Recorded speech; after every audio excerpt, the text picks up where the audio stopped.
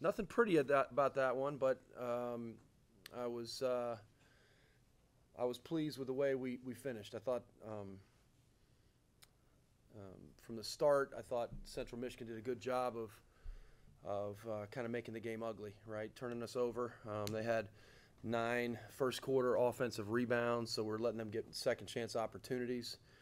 Um, you know, and we had 17 turnovers in this game. But but we found a way. I mean, that's really kind of the storyline of the game. We found a way. We were down um, at one point 40 to 35 in the third quarter after they came out of the locker room and kind of put it on us a little bit. And then we had a spirited uh, timeout.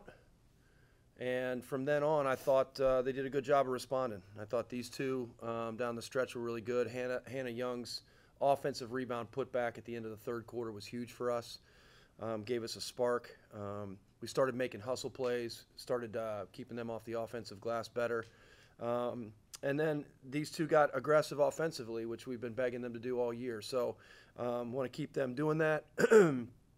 Katie's last two games have been, you know, first team all conference worthy. I mean, 22 and 9 her last game, and, and tonight she had 20 and 12. Um, and uh, we just want her to keep on doing that. Whatever you whatever you're eating, keep eating that. Okay.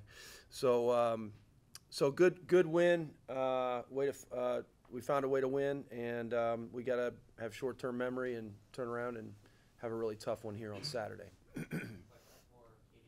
Yeah, I'll go with Katie first. Uh, so double double on the night, with 12 rebounds total, uh, eight defensively. So uh, what was the game plan coming into the game? Is that for you being to get those rebounds? Is that for you personally? Is that a team game plan or what was?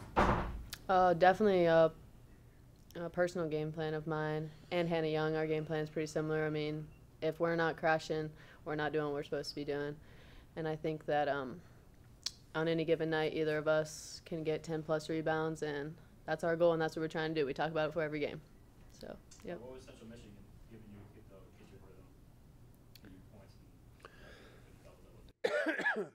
Um, I don't know. I think it was just focus. I mean, really good passing by my teammates. We're seeing the floor.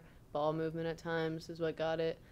And then the free throws on the stretch. I mean, that's what got me half of my points about, I think. Seven of them, yeah. Uh, for Hauser, so what is he, uh, again, point guard, seeing you, uh, what was CMU giving you for the offense to get the ball moving? Nine, nine players got the scoring count tonight. so- hmm They were uh, playing pretty aggressive, but we wanted to stay to our game plan. Uh, we were able to uh, work the pick and roll pretty well and play with our post, uh, play behind, and then attacking in transition. We got some points off of. Um, so what does this mean as a freshman being in the, in the offense in close games? Uh, it's. I don't know. She's not a freshman anymore. It's yeah, February. What you said is, Right. a anymore. Uh, So first round of your a lot of close games or no? experience now, um, and then playing with a lot of uh, fourth and fifth years on the team. Uh, just because I have the ball in my hand doesn't mean I'm like controlling everything throughout the game. They're talking the whole time, uh, so I want to say there's a lot of pressure, but having the ball. Um, but I have trust in my teammates that, and they have trust in me to make the plays. That'll be it for me. Thank, Thank you. you. Good job.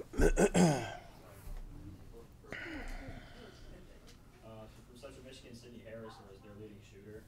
Uh, was their, their game plan tonight to limit her in the shooting, in the field, the three point line? I mean, so, was she's a, on she's a the- freshman. I mean, she's she plays with a great poise. You have you. It's hard to speed her up. I mean, she can shoot the three. She's a three level scorer. She can. you know, not excited about having to face her for um, three more years, but uh, she's a talented player. They got her. They got her shots where she wanted. But you know, eight for twenty one. You know, she's kind of a uh, tonight. She's kind of a volume shooter. I thought we did a pretty good job of, for the most part, in her twenty one attempts. I thought you know probably 70 75 percent of them were, were were contested and tough.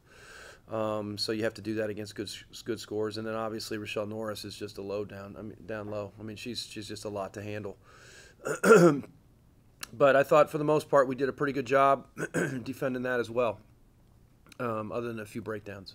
Uh, talk, a little bit in the paint defensively, uh, had some success in the offense so what, was CMU giving you trouble? I mean, obviously they were, but were you seeing something different? Just couldn't stop them? Was it more their center with the height difference? Yeah, I mean, we knew they're going to try and pound it inside on us. I mean, a lot of teams are trying to do that to us now. We just got to make sure that um, on the other end of the court that we take advantage, which we did. Um, you know, we were trying to set ball screens with her in it, and that's how we were scoring a lot um, down the stretch. Um, you know, there's trade offs and everything, so they use her for her size on one one end offensively, uh, but for, but she's also has to defend our, our bigs who can shoot the ball in space.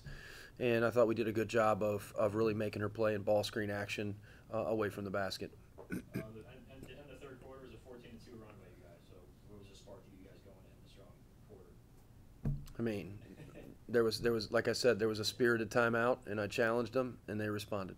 Yeah. Uh, the game plan was a little different, I think. It, more a game on start, fast and strong. Uh, was that to start the third? Was that the strategy the whole time of the game? Or was it to, from the second half on? Yeah, strategy really, game plan really didn't change much. We just didn't execute it very well. I mean, I thought Central Michigan, to credit to them, they did a good job of getting us out of it. Um, their press gave us some gave us some issues. Uh, we got to get that solved because we play Bowl, uh, Bowling Green, who likes to press in multiple ways, you know, on Saturday. Um, but when we execute our press offense and stuff like that, I think we get good looks at the other end of the court. So we just got to be better at executing that. Um, I just thought we played tentative uh, a lot. Um, and you can't do that in conference games, especially against teams that are fighting for an opportunity to get to Cleveland. I mean, this is they're tightening the screws on everything now. There's seven games left. Everybody is everybody is you know kind of desperate, you know, playing really hard because there's only eight spots to Cleveland, and and everybody wants to be there. So um, you can't come out and, and kind of sleepwalk through a game and, and expect uh, other teams to just let you have it. Uh, what was what, what if the message to be for your team to learn from this? What's the message?